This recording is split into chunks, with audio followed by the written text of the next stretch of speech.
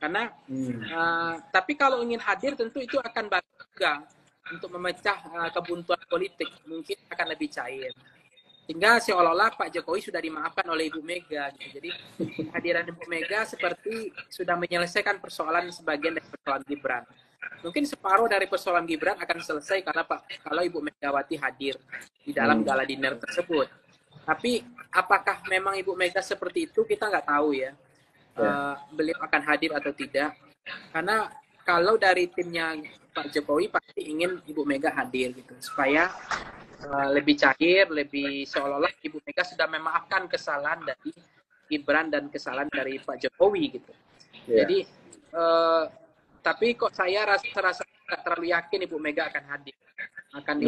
diwakilkan kepada yang lain saya pikir karena yeah. Iya. uh, kehadiran Ibu Mega seolah membenarkan semua perbuatan dilakukan oleh lawan-lawan politiknya oleh iya. teman-teman yeah. politiknya dulu termasuk mungkin uh, dengan MK dengan KPU dan seterusnya